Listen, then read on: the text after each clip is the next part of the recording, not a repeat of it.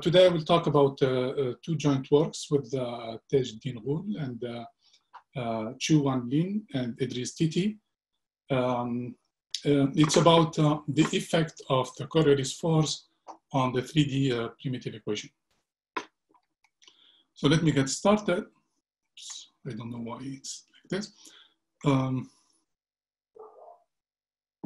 so the two collaborators have photos here. So this is Tej from uh, New York University in Abu Dhabi and uh, Quyuan Lin. And um, I decided not to put uh, Edriss's photo because when I look to the web, all the photos that I found, uh, Edriss was smiling. So, um, okay. Um, so this is my plan for today. So I will uh, uh, do a brief introduction about the derivation of the primitive equations from the Boussinesq equations. And um, and then I will mainly focus on the viscous case. Then I will uh, state the known results about the 3D inviscid primitive equation. I will talk about uh, uh, ill-posedness, then well-posedness, and uh, finite time blow-up. And the purpose here is to, uh, to, uh, to argue what would be the best uh, functional space where to solve the primitive equations.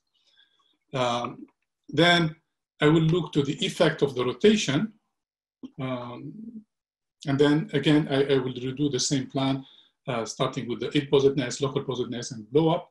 And then uh, at the end of, uh, of uh, this lecture, so we will talk about long-time existence, uh, first without the effect of the rotation, and then see how the rotation would act.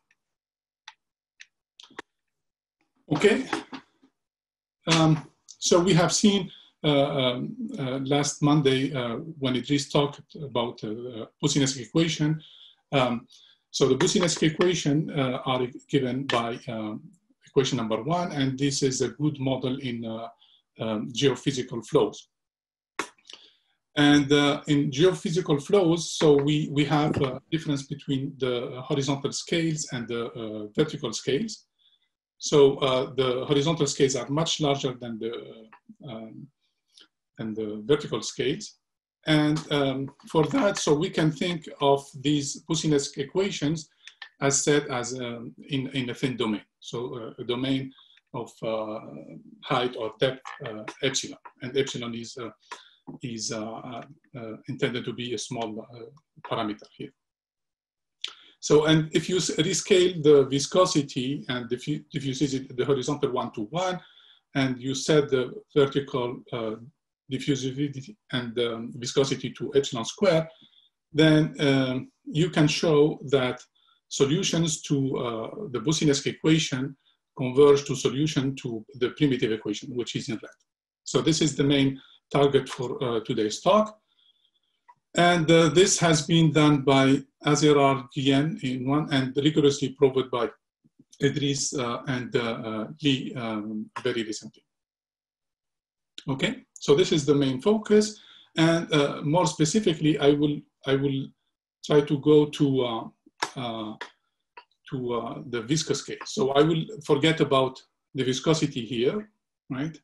And the diffusivity, uh, and I will mainly focus on the viscous case. So this is an extended reference page for uh, all the work done um, for the viscous primitive equation uh, and partial viscosity, partial diffusivity. I think Edriss has uh, talked um, um, about this uh, on Monday. So let me skip that. So, um, so today I will focus on, on system three, the primitive, 3D primitive equation. And here you see uh, this parameter omega, which is uh, the, the speed of the Coriolis force. So my, do my domain here is uh, um, the whole space and the Z is confined between zero and one. And the boundary condition um, is um, uh, W equal to zero. So the vertical uh, velocity at uh, the bottom and at the top of the domain is, is zero. Um, so in some references, this equation is referred to, uh, to be a hydrostatic Euler equation. Good. Um, so without, I will uh, focus first on uh, the results that uh, uh I know about uh, the 3D primitive equation. And uh, mainly in the first part, I will focus on the case when the rotation is not there. So I'll start with the, um, with the ill-posedness results to argue what would be the, the, the best space to solve these, uh, these equations.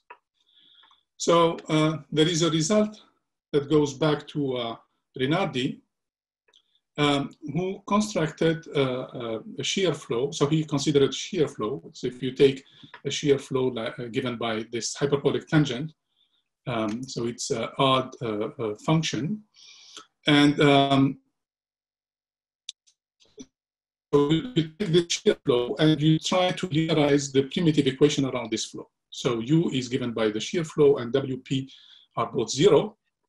And uh, D here is a small parameter. Then he constructed a, a wave um, that grows uh, exponentially in time. And uh, the, the, the real part of the sigma here, the frequency, uh, is uh, given by lambda k for lambda non-zero. Okay, and um, as you can see, this is uh, ex exponentially growing uh, solution to the linear problem. And this solution, as we have seen last week in in in, uh, in, uh, in, the courses, um, so we have seen that this is this instability is of Kelvin-Helmholtz type. And this type of instability, uh, it, all, uh, it uh, already tells us that um, the primitive equation is ill-posed, at least is linearly ill-posed in uh, any Sobolev space and in any Gevrey class of order S with S bigger than one, right? So it already gives us an indication about uh, suitable space to solve this, this equation. And now uh, to counterbalance this exponential growth, so one uh, has to take uh, uh, um, strong decay. So we have to take initial data that decay exponentially fast. And um, for s equals to one, right? So this Gevrey class corresponds exactly to uh, space of analytic functions. Um, so there are uh, other instabilities for other models. And for instance, for Prandtl equation, um, this uh, uh, Kelvin-Helmholtz instability is somehow weaker because the exponential growth is like square root of k. And uh, um, uh, so in some sense, the, the, instability in the primitive equation, inviscid primitive equation, is somehow worse than, uh, than, um, than that for Prandtl equation.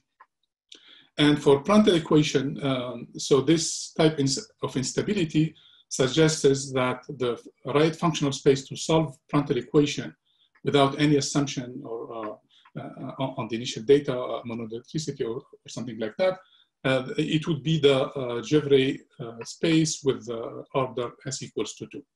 And indeed, this is what has recently been proved by Dietert and Gérard-Varet for, for the case of Prandtl and Lee, Masmoudi as well. Okay.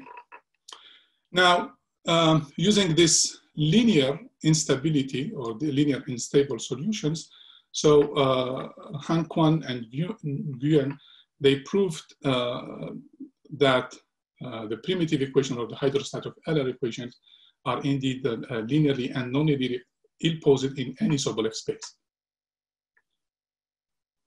Okay, good.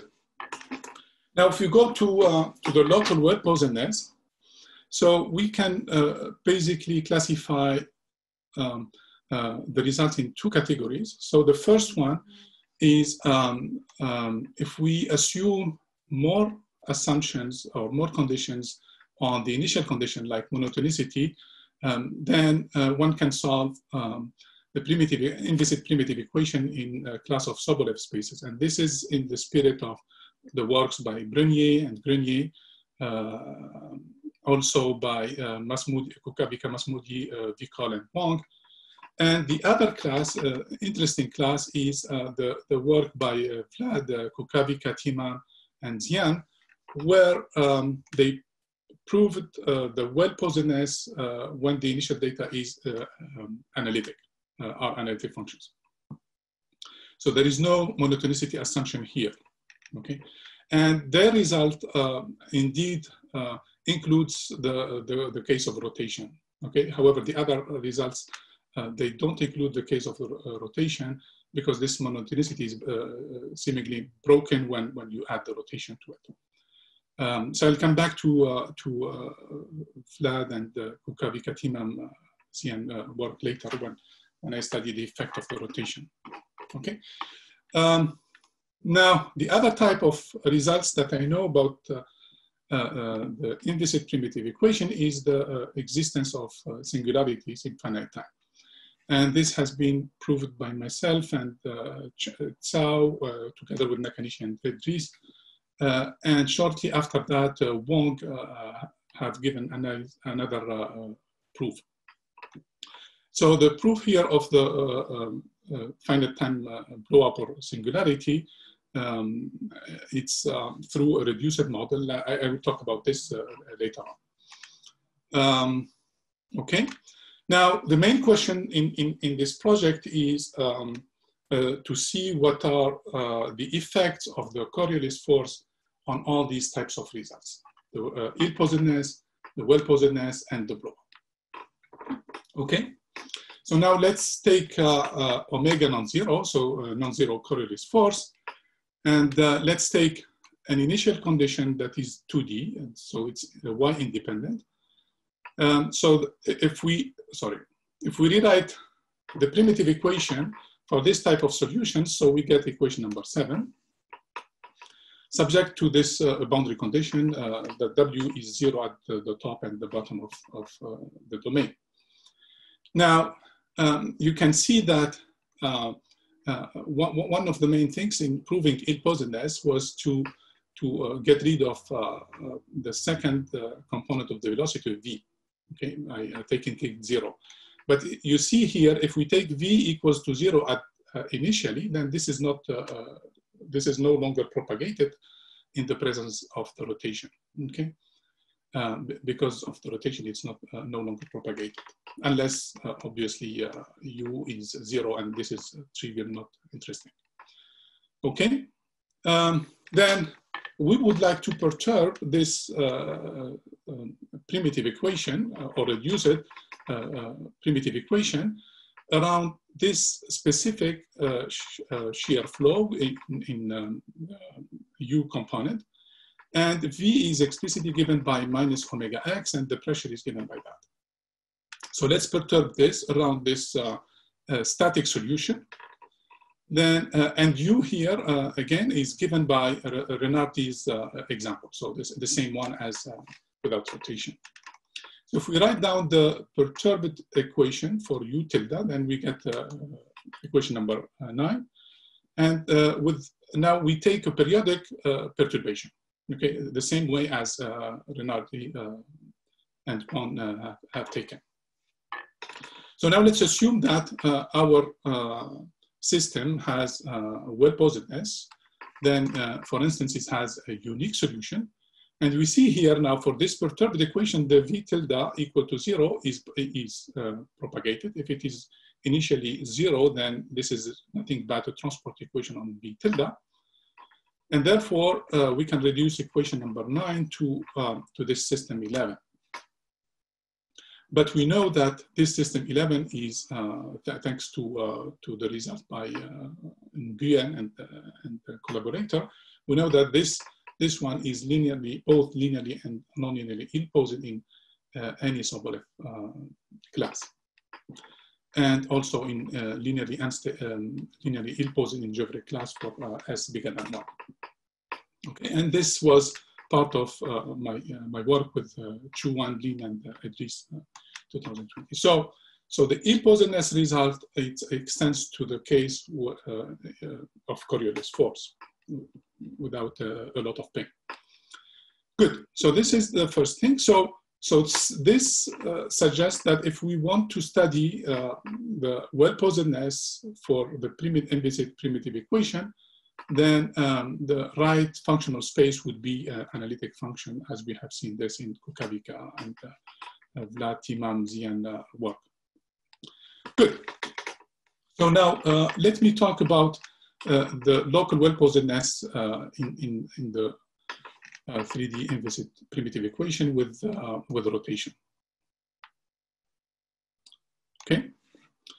So um, this is equation, uh, uh, so system 12 is uh, the 3D primitive equation um, in our uh, domain here. The same boundary condition, so I just uh, rewrote this and let's, let's focus on this now. Now, uh, so we can periodize, we can periodize the um, R2, right? And, um, and we can restrict solution, we can study the solution on T3 um, using this uh, uh, odd symmetry for V and uh, even the symmetry for V and um, the odd symmetry for W. Good. Now, in the presence of rotation, uh, so as I mentioned earlier, so the only result that I know uh, uh, about well posedness is that of uh, Kukavica, Temam, Vicol, and. But uh, the thing here is uh, when we look to the time of existence, uh, it shrinks as the rotation gets fa faster and faster. And this seems to be counterintuitive if we know what happens to 3D Euler equation or 3D Navier-Stokes equations uh, or uh, more um, or um, equation with rotation or um, um stratification. Um, for, for, instance, uh, we know that uh, um, rotation or fast rotation at least, it uh, washes away singularities, uh, possible singularities for Navier-Stokes. This has been proved by uh, Babin Mahalov Nicolaenko. Uh, or um, it can delay or extend the, the, the, lifespan of 3D Euler solutions. Um, so, um, so this is what we wanted to improve. Okay, and in the case of the whole space, of course, so there is the uh, nice uh, work by uh, Chemin, Desjardins, Gallagher, Grenier, uh, who studied the, the, the, case space of uh, Navier-Stokes uh, equation, and uh, it's globally well posed for fast rotation. Good. Um, so as I, as, as I said, so the main driving goal is to improve uh, the local well-posedness result, and uh, then um, see what is the effect of fast rotation on, on, uh, on the dynamic or the lifespan, more precise. Good. Okay, so let me let me specify the functional spaces and uh, um, precise the notation that we use. So uh, the Sobolev norm is uh, standard here. So we, we, since we work in the 3D torus, then uh, uh, we can use uh, Fourier uh, series. Uh, so let me denote by A the square root of minus Laplace. And the Gevrey class is given by um, this exponential weight in the Fourier side, okay? And um, so here we mix the Gevrey norm with the Sobolev norm right? So the, the exponential is for Gevrey and um, and the k, the polynomial uh, growth here is for for uh, for Sobolev.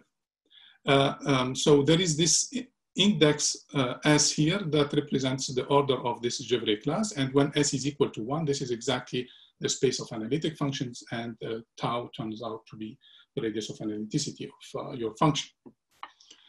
Okay, um, so after that, let me introduce a series of um, a series of uh, projections. So we are going to need uh, the projection, uh, the Leray projection, but uh, here in the 2D one. Okay, so the 2D, uh, more specifically the, in the horizontal direction. So let me denote it by PH. And uh, for um, mean value uh, zero psi. So let me de define Laplace inverse uh, if phi uh, if uh, psi if phi solves this equation. Okay. And uh, let me define a second projection, which is uh, the averaging in the z direction. So that's p0. So the p0 f is the commonly called the barotropic mode. And uh, F tilde is the baroclinic uh, uh, mode. Okay, and this turns out to be a nice projection. This P, P0, it's orthogonal in L2. As you, see, you can see, the any the L2 norm of any function is given by uh, square of the L2 norm of the, any function is given by the square the sum of the square of the uh, L2 norms of the projections. Uh, similarly, uh, we have this nice property in this uh, class. Okay, so this is the uh, um, uh, set of, this is the functional space that we are going to study our problem. Okay, now um, few observations before we state the first result. So if we take the 3D uh, uh, primitive equation and if we integrate with respect to x, then we immediately see that, um, and do integration by parts, and we immediately see that the average of v is uh, does nothing but rotate, rotating. Okay, so you can. Um, uh, so this means this equation 21 tells us that uh, the, the, the average of v is a constant uh, of time. So if you take it if you take it initially zero, then it, it will stay, uh, stay zero. And just for the sake of simplicity, we will, uh, from now on, we will assume it that this average is zero. Okay, so we are taking zero mean um, solutions to this primitive 3D primitive equation with rotation. Okay, uh, one of the biggest challenges or, or things that we have seen in, in Kukavica, um, Temam, and Vlad and Ziane's work is the pressure. Okay, so the pressure was uh, uh, the biggest enemy, and it grows in in omega uh, with the with the fast rotation, and we wanted to uh, somehow get rid of the pressure. Okay, and um, to get rid of the pressure, we need the, to project. Uh, uh we need to use the Leray projection, but um, uh, unfortunately, uh, the uh, the divergence, the horizontal divergence of V is not zero, right? However, the, the horizontal divergence of V bar is zero, of the average of V is zero, okay? Because of the boundary conditions. So that's why uh, we will take our equation 20, uh, so the primitive equation, and we will first apply uh, the, two, the two projections. So the first projection is we average in, in Z, okay? And then we apply uh, the Leray projection to get rid of the pressure. So this is the first idea. And when we do so, um, so instead of working the, uh, with the V solution to the primitive equation, we will work with the V bar and V tilde bar, barotropic doctrine. Okay? Okay, and this is uh, uh, 20, system 22 is just translation of that using these two projections. So there is equivalence between the two systems. And of course, we can also translate the boundary conditions here. Okay. So the first result uh, with uh, Tej, uh, Quyuan, and uh, Edriss. So when we take initial data V0 bar, V0 tilde, barotropic, baroclinic, in the analytic space, so we fix tau zero here, it's a positive number, and R Sobolev regularity is uh, high enough, so bigger than five half. Uh, so when we fix this initial condition, so we can explicitly uh, uh, construct a solution. So we can construct a solution um, with the radius of an, in the analytic space, with the radius of analyticity explicitly given by uh, 24. So the radius of analyticity does not depend on omega, that does not shrink when omega gets fast. So this is a uniform uh, uh time, uniform radius of analyticity. And uh, our solution is continuous uh, in, in time with uh, um, analytic regularity in, in X, okay? Um, and also we have, um, so this solution depends uniquely, continu continuously on the initial data. Good. Now, uh, once we have well posedness on a uniform time of existence, we wonder if solutions can exist for a long time in the, in the, uh, for, for for all time uh, when, when uh, we have rotation, okay? But, um, but it turns out that this is not possible because we do have blow up even if we have um, uh, rotation, okay? So let, let, let's see that.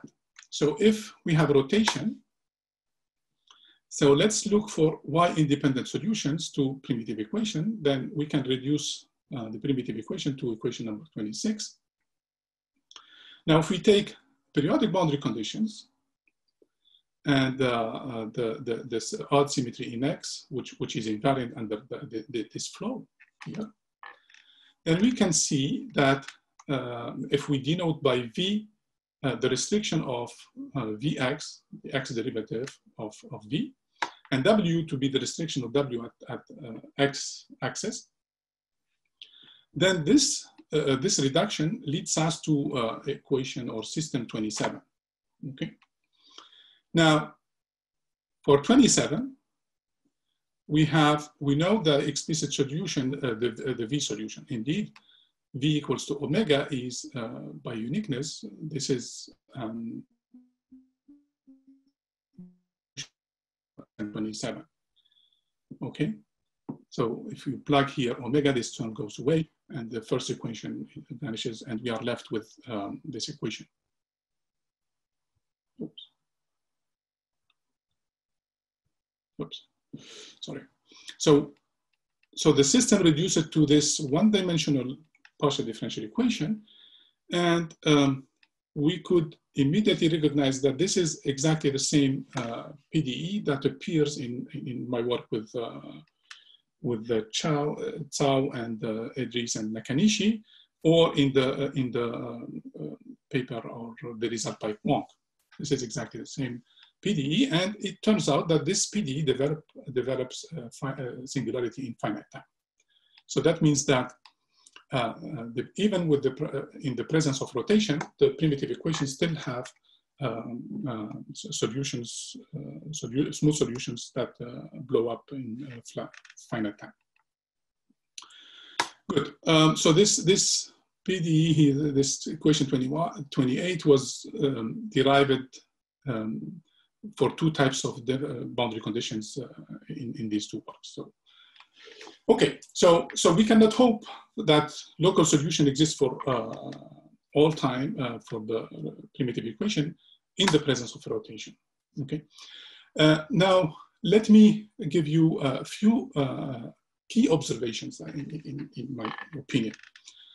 So if we look to the blow up time of this equation 28, so the blow up time is explicitly given uh, with the initial conditions and so on and so forth.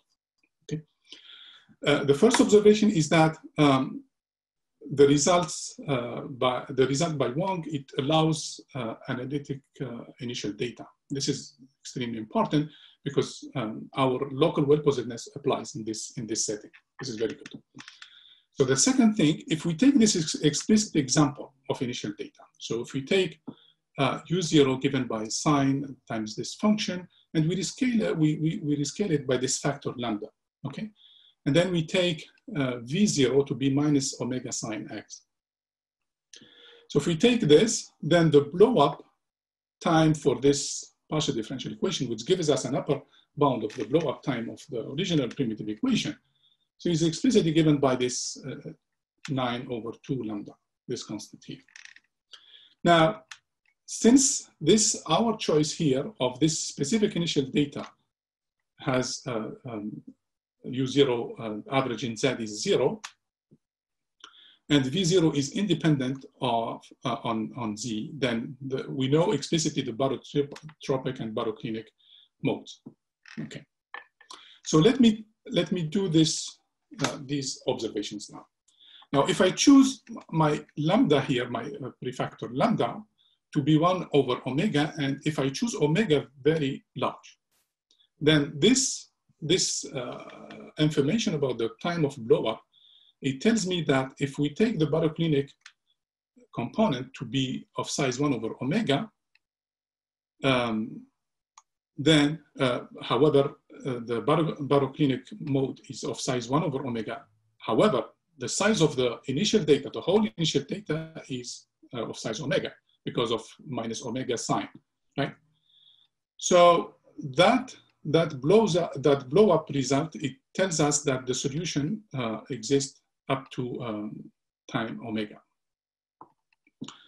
Now, it remains interesting to, to know if the size um, of both components of order one, that the time of existence uh, grows with omega.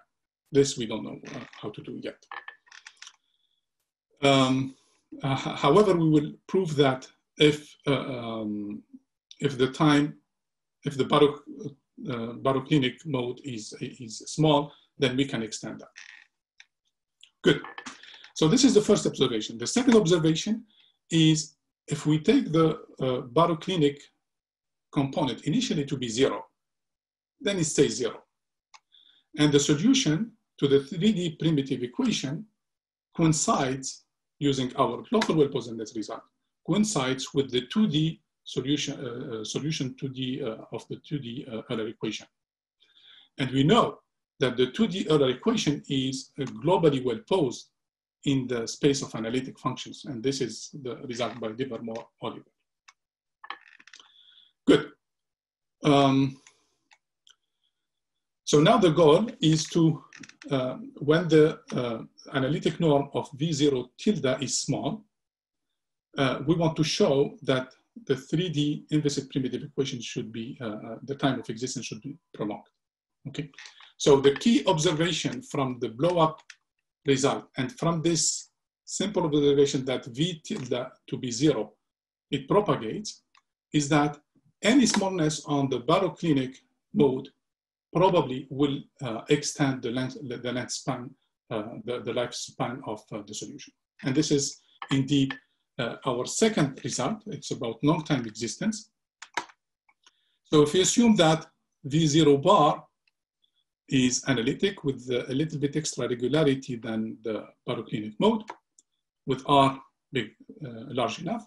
So if I fix the size of the initial data, okay, so this is the, the size of the analytic norm of the V bar, it's M.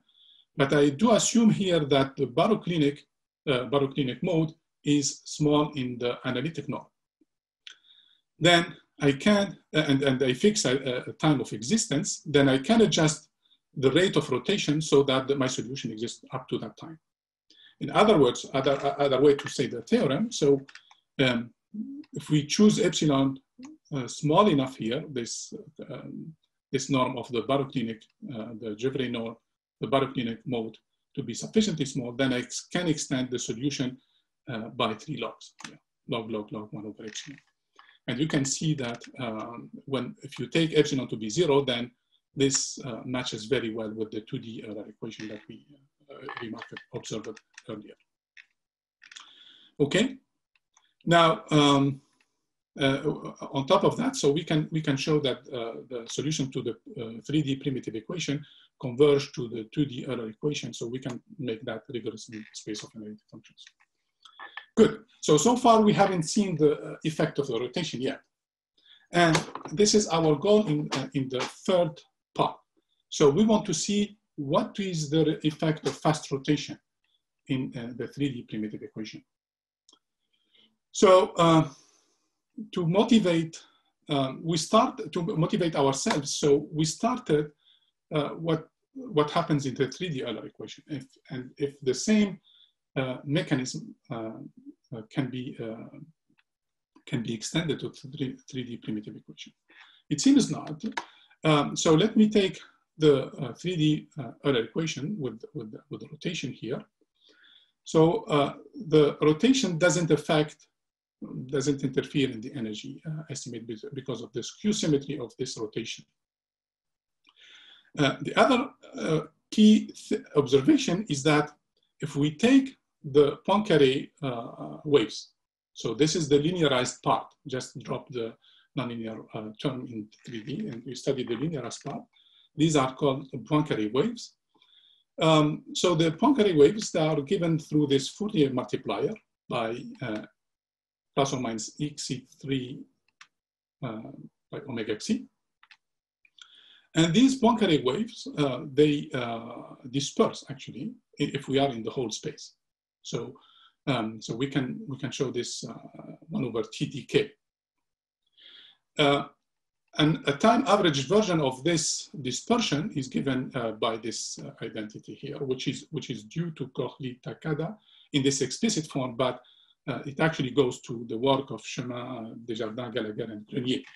Uh, okay, so um, there is a dispersion, dispersion mechanism uh, if we work in the, in the whole space. So let's see what happens in the case of the primitive equation. So let's linearize it and we get equation number 32, okay? And it turns out that the uh, equation 32 has an explicit solution. So this explicit solution is given by 33. So V can be uh, written as the uh, barotropic V0 bar, which is independent of time. It does not decay at all. And the baroclinic, it, it doesn't do anything but rotating with the frequency omega. Okay, so there is no decay here. And the pressure also, it, it's independent of time. It's given uh, explicitly by Laplace inverse of omega 3. Omega 3 is the third component of the vorticity, initial vortex. Good. So it seems that this not, it's not the same as for Euler's equation.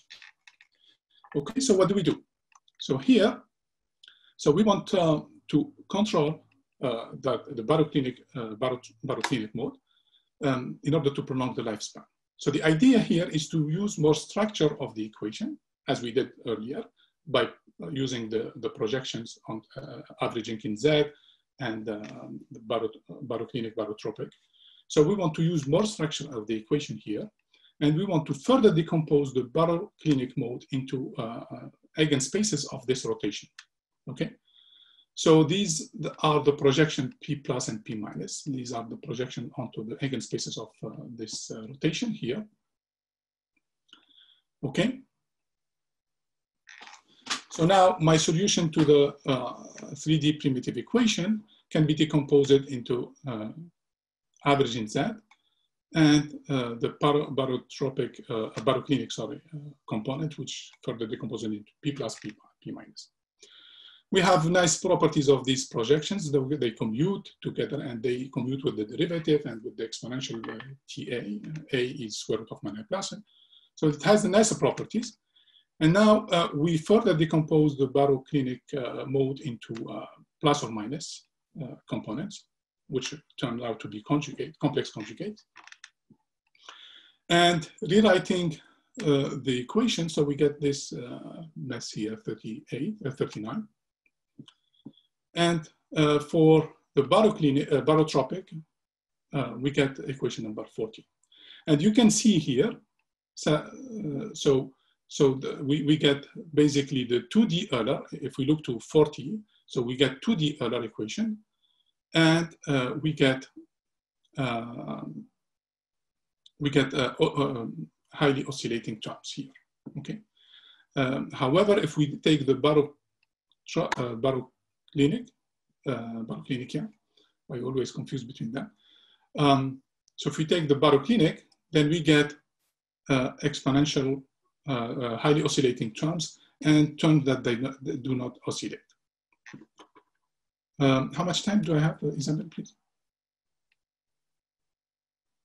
Hello? About two minutes. Uh, two, two minutes? Three minutes. Okay, good. You can go all the way to five if you like. Oh, okay. Thank you. So, um, so this is what we get. Now, if we if we denote, uh, so the, the, the, previous expression, it tells us what would be the limit system as omega goes to infinity, at least formally. Uh, um, so the formal limit when there is no oscillation, right?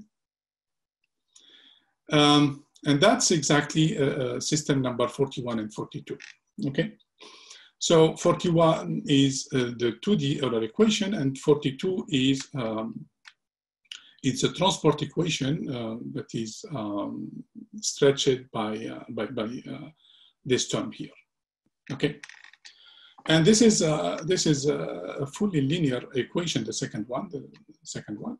And with the first one, it's the 2D Euler, that's, that's a nice equation. And we know that uh, it's globally well posed in any Sobolev or uh, analytic uh, uh, space. Okay, so the idea is to take the difference between this limit system and um, and uh, the previous uh, the primitive equation. Okay, and then uh, when we do energy estimate, so we we are left with terms that um, um, we we we can't we don't know how to control, and uh, for these terms, so we, we impose uh, the smallness assumption that we have seen. Okay. Um, so this is the theorem. So if we fix initial condition here uh, in this uh, analytic class with the radius, uh, initial radius of analyticity tau zero, if R is big enough, and you, again, we fix a size of the initial data. So, so the analytic norm here, it's arbitrary, okay? However, we, we require a smallness only on the Sobolev norm, not the analytic norm. Okay. So if the initial uh, baroclinic, uh, if the initial baroclinic mode is small in Sobolev norm, then we can extend uh, we, we can extend the lifespan of the solution by four logs. This is very weak, but nevertheless, it's it's growing in, uh, as omega goes to uh, infinity. Okay, and we we decided to call this this condition the or these data to be well prepared data. Okay. Good. So now we see that the fast rotation, it indeed uh, prolongs uh, the lifespan of, of the solutions. Okay, um, so to, to conclude, um, so we have, uh, we can construct uh, uh, explicit initial data. So if we take uh, an initial data, uh, V0 bar, it can be anything uh, in the nice and smooth in the analytic space. And if we take the baroclinic mode um, localized, very, very localized at some frequency k, with k3 not equal to zero, to be uh, z dependent, uh, then uh, we can adjust this coefficient ck here in terms of the frequency. Okay. And this example, um, this is an example of a function uh, that is the Sobolev norm uh, of the baroclinic. It decays like one over omega. However, um, the analytic norm is of order one, as you can see. And uh, for, for this specific initial condition, uh, or sequence of initial conditions, so here we can construct a sequence of initial conditions for which, um, um, as I said, the analytic norm is of order one, Sobolev norm decays, and the, the time of existence um, uh, grows as the rotation becomes faster and faster. And I think I'm done. Thank you.